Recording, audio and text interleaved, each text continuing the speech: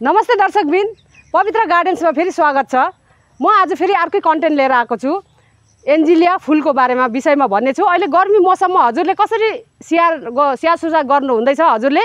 म सबै भन्ने छु। स्किप नगरिकन सुरुदेखि अन्तिमसम्म हेरिदिनुहोस् है त ल।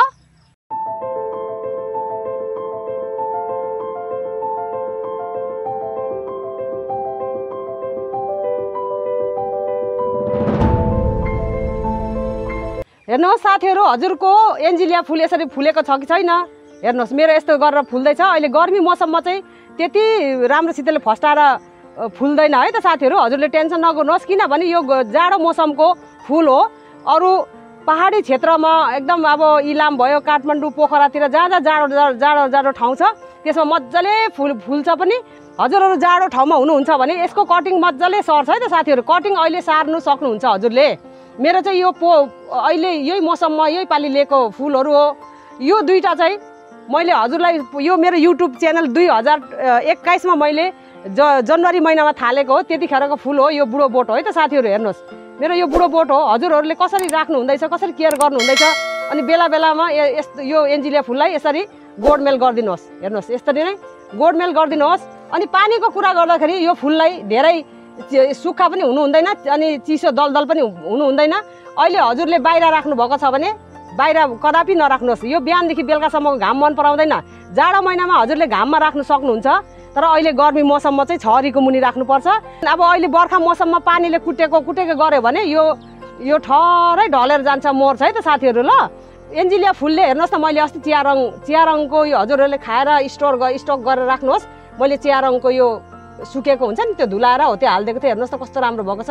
अनि चिया रङ एकदम मन पराउँछ है त मलहरू चाहिँ। हेर्नुहोस् त कस्तो दामी फुरुर भएको फुरफुरे यस्तो हुन्छ। यो पत्करमा मात्रै रोप्नुहोस् है साथीहरू। पत्कर मल मिसाएर रोप्नुपर्छ यो फुललाई रोप्दाखेरि। अनि यस्तो झार जङ्गल छ भने नि बेला बेला गोडमेल गर्दै राख्नुहोस् यसरी नै। त्यो हेर्नुहोस् त पुरा कोपिला लागिरहेछ देख्नुभएको छ? कोपिला पुरै छ कोपिला कोपिला लागिरहेछ। यसमा पनि मैले चिया रङ यसरी हालिदिएको थिएँ त साथीहरू। बेला बेला यसरी गोड्दै चिया रङ हालिदिनुहोस्। रिपोर्टिङ गर्ने काम नगर्नुहोस्। अहिले गर्मी मौसममा। अनि मेरो साथीहरूले टाढो टाढो हुने साथीहरूले भन्नुभएको छ कि दिदी मलाई एन्जिलिया फुल चाहियो भनेर हजुरहरूले नर्सरीबाट होस् चाहे मदेखि होस् कहीँबाट नै होस् हजुरले अहिले एन्जिलिया फुल लिएर रोप्ने काम नगर्नुहोस्। किनभने सबैसँग छ मसित छ हरेक नर्सरीमा पाउनुहुन्छ। त तर त्यो मजाले फस्टाएर आउँदैन। त्यो के अरे हन्ड्रेड पर्सेन्ट सर्छ भन्ने हुँदैन मर्छ के? किनभने यो फुल चाहिँ जाडो मौसममा फुल्ने हिमाली क्षेत्रमा अनि जाडो ठाउँमा एकदम राम्रो फस्टाएर फुल्छ त्यस कारणले हाम्रो यो तराई क्षेत्रवासीलाई मात्रै भनेको मैले। अहिले यो गर्मी ठाउँमा चाहिँ हजुरले लिएर नरोप्नुहोस् जाडो महिनामा चाहिँ रोप्नुहोस्। अनि यो पर्मानेन्ट फ्लावर हो हाम्रो यो।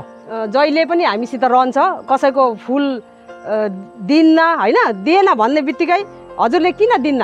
अब यिनीहरूलाई खानेकुरो पुगेको छैन भने त दिन्न। हिजो अस्ति मैले हेर्नुहोस् त यसमा मल बर्मी कम्पोस्ट र मैले चिया रङ मिसाएर हालिदिएको थिएँ। कस्तो मजाले कोपिला कोपिला पुरा लागेको छ यिनीहरू सबैमा कोपिला लागेको छ। अरू हजुरको चाहिँ अब अब यस्तो बाध्य हुन्छ कि अब कोही हामीले प्लान्टहरू लिएको प्लान्टहरू एकदम लामो भएर जान्छ अनि त्यसलाई चाहिँ अब यही सालको किन्नु किन्नु भएको छ भने नि हजुरले अनि यस्तो गरेर कटिङ गरेर पनि फ्यालिदिनु सक्नुहुन्छ यो गर्मी ठाउँमा चाहिँ। अनि जाडो मौसममा हुनुहुन्छ भने चाहिँ जाडो ठाउँमा हुनुहुन्छ भने यो कटिङले मजाले सर्छ। हेर्नुहोस् न यहाँ कोपिला पुरा लागि लागिरहेछ। अनि मे अनि हजुरको चाहिँ अब ठुल्ठुलो भएर बुढो बुढो बोट बसे बसेको छ भने चाहिँ यसरी यो बुढो बोट भयो नि त होइन? अनि बुढो बुढो बोट छ भने चाहिँ हजुरले चाहिँ यसरी नै प्रुनिङ गरिदिनु सक्नुहुन्छ है त यो सुकेको सुकेको माथि माथिकोलाई यसरी हटाइदिनु सक्नुहुन्छ। अनि यो पनि मेरो पुरानो बोट हो हेर्नुहोस् त यहाँ पुरा यस्तो भइरहेछ सुकिरहेको छ। यो सुकेको भागहरूलाई हजुरले यसरी सबै हटाइदिनुहोस् है त साथीहरू। अनि अब मल माटो हजुरले यो बेला बेला थप्ने पर्छ। हजुरले एक महिना नै त दुई महिनामा हजुरले थप्नुहोस्। यसमा हेर्नुहोस् मैले के राखेको छु भने यो भयो बर्मी कम्पोस्ट। गडौलाको मल हो यो बर्मी कम्पोस्ट छ। अनि बर्मी कम्पोस्ट भन्दा अलिकति बर्मी कम्पोस्ट चाहिँ कम्ती। यो पत्करको मल चाहिँ धेरै। यसरी हालिदिनुहोस्। यसरी मिसाइदिनुहोस् है त। अनि हजुरले फन्जी साइड छ भने पनि हाल्नुहोस्। म चाहिँ यसरी बेसार लाउँछु है त। यो बेसार लाउँदा नि हुन्छ है। बेसार कति लाउने भन्ने हुँदैन। अड्कलेर लाउनुहोस्।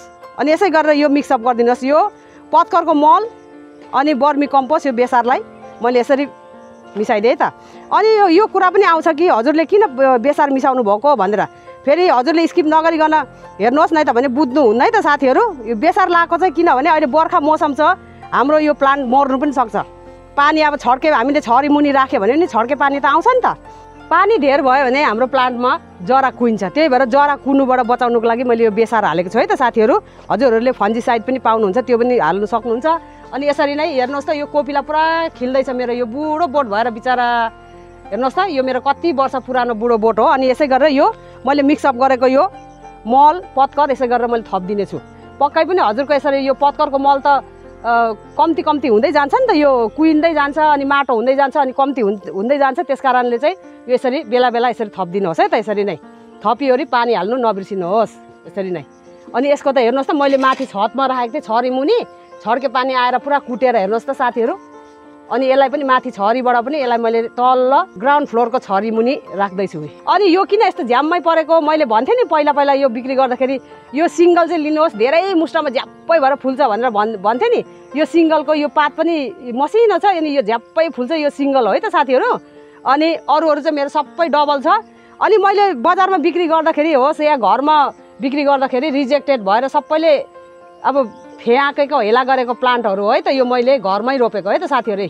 अरू साथीहरू मैले यो एन्जिलियाको बारेमा मैले भनेको टेक केयर सबै बुझ्नुभयो होला नि पक्कै पनि होइन? कि हजुरले यो बर्खाको पानीबाट चाहिँ हजुरले यो गर्मी मौसममा बचाउनु भयो भने हमेसा तपाईँको गार्डन हराभरा रहन्छ कहिले पनि यो मर्दैन है त। त्यति साह्रो मजाले फस्टाएर आउँछ एकदम टेक केयर गर्नुहोस्। हजुरले यो छरी मुनि अब एक समयको मेरो चाहिँ यहाँनिर पश्चिमपट्टिको अलिकति एक समयको घाम आउँछ एकछिनको लागि आउँछ। तर अरू बेला आउँदैन। छरी मुनि राखेको छु तपाईँले पनि छरी मुनि राख्नुहोस्। ड्याङ्की ड्याङ पानीले चाहिँ नकुटोस् है। है त साथीहरू यसरी नै मैले अब हजुरलाई मैले भिडियो देखाउनुको लागि यो तल्लो लेयरमा राखेको हो। तर मैले अब बिहाइन्ड द भिडियोमा मैले यहाँ राख्नेछु है त साथीहरू अनि हजुरलाई कमेन्टमा मलाई क्वेसन सोध्नुहुन्छ। मेरो वाट्सएप नम्बर पनि छ। टिकटकमा पनि मेरो पवित्र गार्डन छ त्यसमा मेरो बायोमा मेरो नम्बर राखेको छु। हजुरले कुनै पनि प्लान्टको टेक केयरको बारेमा मलाई मेसेज भोइस मेसेज छोड्नुहोस् चाहे लेखेर छोड्नुहोस् है त ल। अनि मेरो नयाँ नयाँ साथीहरू त पक्कै पनि जुड्नु भएको छ। जुडियोरी सब्सक्राइब गरिदिनुहोस् बेल बटमलाई क्लिक टिङ बजाइदिनुहोस् ल साथीहरू। अनि यो मेरो एन्जिलियाको केयर टिप्स मन पऱ्यो भने हजुरले लाइक गरिदिनुहोस्। मनमा के के खुल्दुली लाग्यो अझै पनि हजुरले मलाई क्वेसन गर्नुहुन्छ सक्नुहुन्छ है त ल। अनि मलाई कमेन्ट लेखी पठाउनुहोस्। अरू एन्जिलियाको बारेमा यसरी टेक केयर गर्नुपर्ने छ गर्मी ठाउँमा चाहिँ अब माथि पाहाडमा त पहा पाहाड क्षेत्रमा त ए यसरी भचाएर यति गाडिदिँदा नि सरिहाल्छ साथीहरू। अनि थाहा नहुने साथीहरूलाई चाहिँ थाहा होस् है त साथीहरू सबैलाई सेयर गरिदिनुहोस् ल। अनि यसै गरेर म नयाँ नयाँ भिडियो नयाँ नयाँ कन्टेन्टहरू लिएर आउनेछु। अहिलेको लागि तपाईँको दिदी यही बिदा चाहन्छु। समय लिएर हेरिदिनु भएकोमा thank you so much bye bye फेरि भेटौँला।